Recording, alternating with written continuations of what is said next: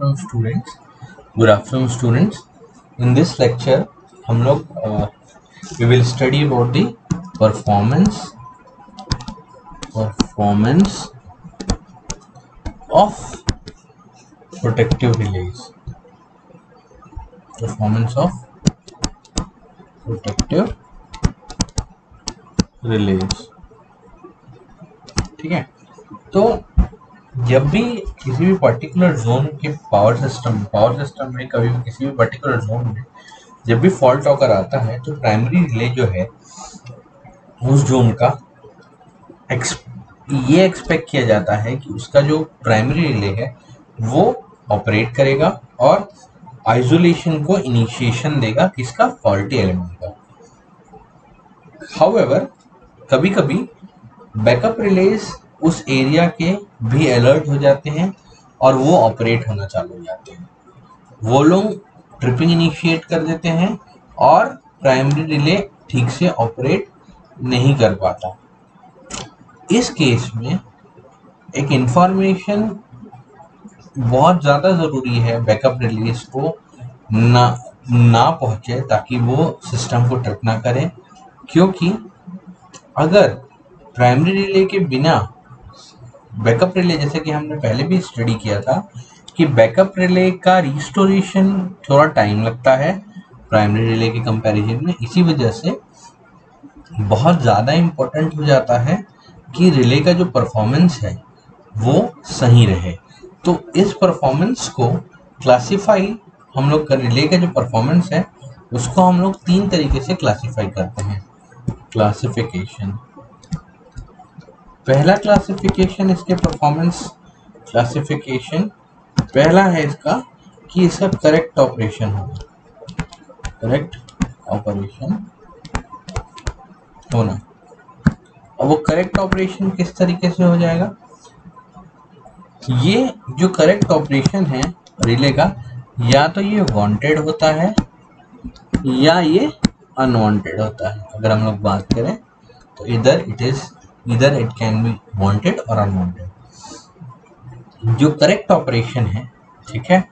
जो correct operation है relay का, वो उसके हिसाब से सबसे पहले इंडिकेशन जो पहला इंडिकेशन जाएगा, वो एटलीस्ट किसी एक प्राइमरी रिले के पास at least one primary relay के पास उसका इंडिकेशन जाना चाहिए।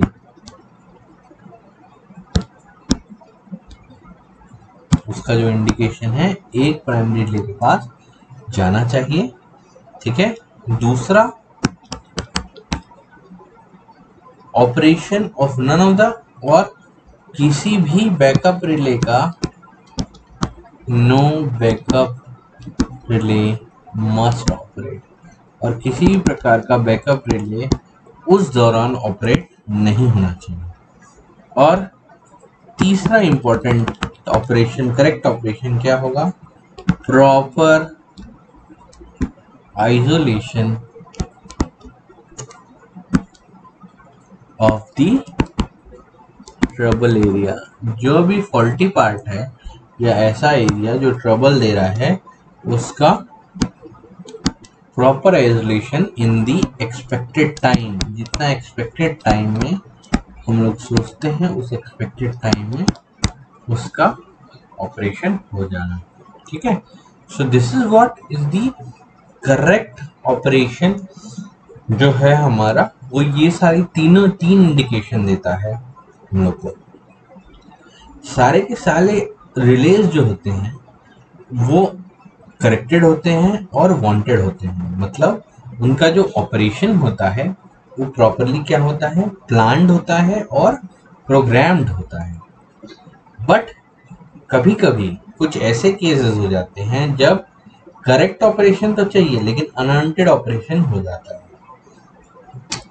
जैसे कि अगर सारे रिले और उसके इक्विपमेंट्स परफॉर्म करेक्टली परफॉर्म कर रहे हैं, जब उनका ऑपरेशन डिजायर्ड नहीं है या एंटिसिपेटेड नहीं है तो उस समय हम लोग उसको बोलते हैं करेक्ट बट अनवांटेड ऑपरेशन मतलब without any indication, they are performing correctly, then it is called as correct but unwanted operation.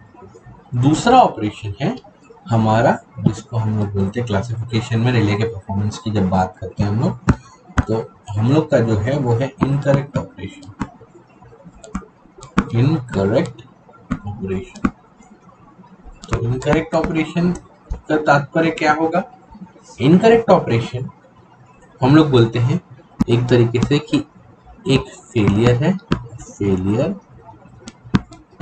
या एन माल फ़ंक्शन इसी प्रकार माल फ़ंक्शन हुआ है या अनप्लान और अनएंटिसिपेटेड ऑपरेशन है। ठीक है? अनएंटिसिपेटेड ऑपरेशन है। तो ठीक है? अब अगर इस तरीके का कोई भी ऑपरेशन होता है किसी प्रकार का फेलियर माल फ़ंक्शन या अनप्लान या अनएंटिसिपेटेड ऑपरेशन अगर हमारे प्रोटेक्शन सिस्टम में ऑकर होता है तो हम लोग उसको क्या कहते हैं?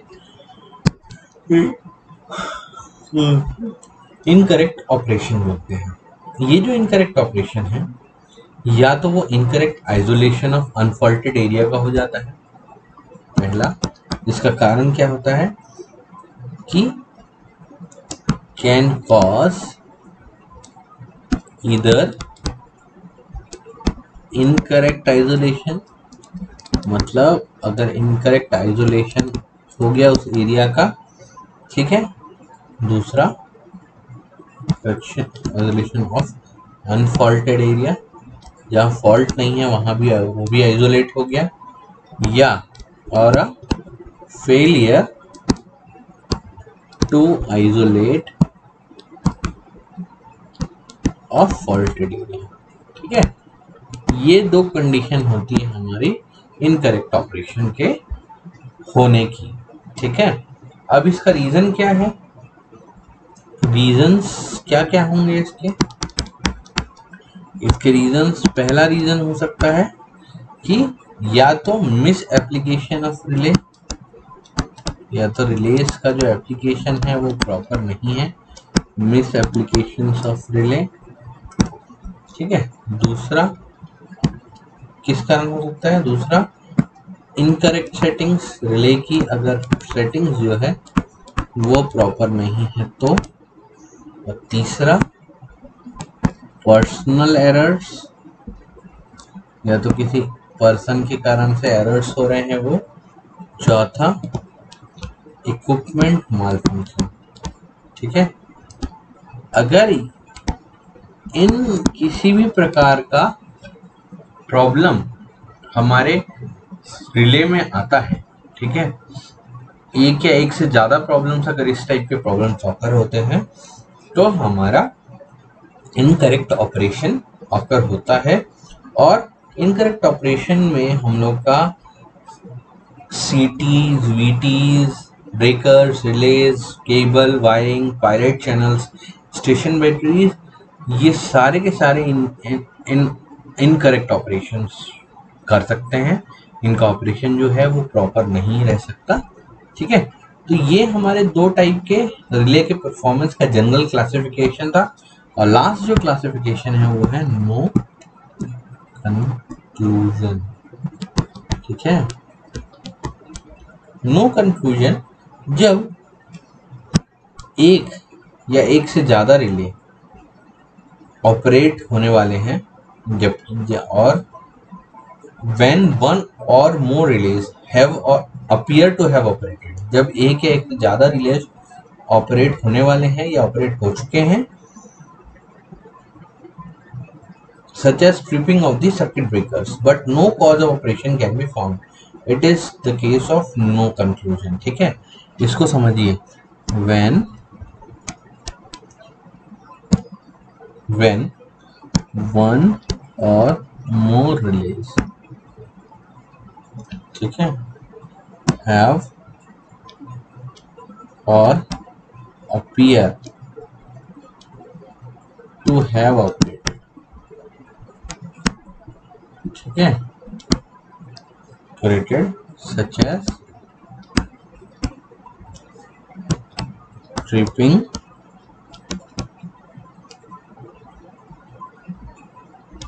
of the circuit breaker but no cause of operation